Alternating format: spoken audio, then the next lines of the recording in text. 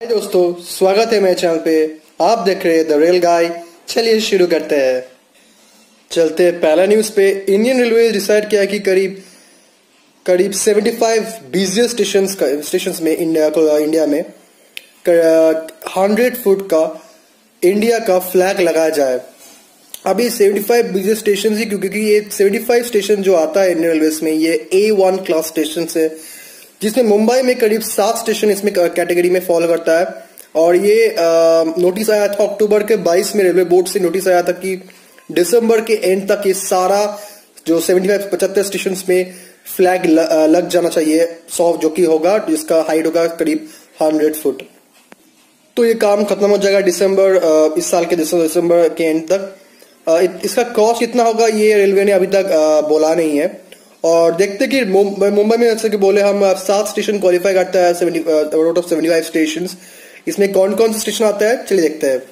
पहला आता है obviously Chhatrapati Shivaji Maharaj terminus C S M T फिर Lokmanya Tilak terminus L T T Dadar, Thane, Kalyan, Mumbai central और Bandra terminus में सात स्टेशन में हंड्रेड फीट का जो टॉल इंडिया का फ्लैग वो लग जाएगा दिसंबर के एंड तक।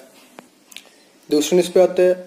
अगर आप मुंबई सेंट्रल से ट्रैवल कर रहे हो, आपको बहुत भूख लगा है तो आपको एक मशीन मिलेगा स्टेशन पे।